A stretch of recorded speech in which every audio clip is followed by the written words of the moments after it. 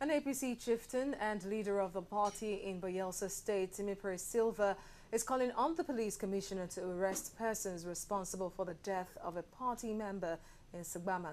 He led a peaceful protest to police command in the state, asking the security operatives to ensure the safety of their members even before the elections. Members of the All Progressives Congress hit the road in protest over the killing of their member in a rally in Sagbama. Led by former Governor Timipre Sylva and Minister of State for Agriculture Heineken Lokpobiri, they marched through the Melford Okilo Road chanting songs of protest all the way to the Bayelsa Police Command. The impression we have in APC is that the police in Bayelsa State is a PDP police. It's an arm of PDP. Let the police prove to us beyond reasonable doubt that the police is not a PDP police. Our people must be protected.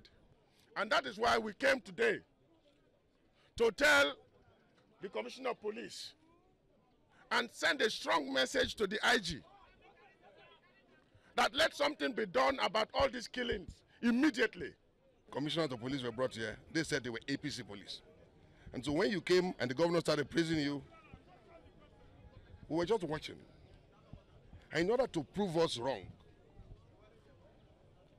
is for you to effect immediate arrest on those who are responsible for the killings in Sagbama. Commissioner of Police Aminu Saleh says investigation into the matter has commenced and its findings will be revealed soon.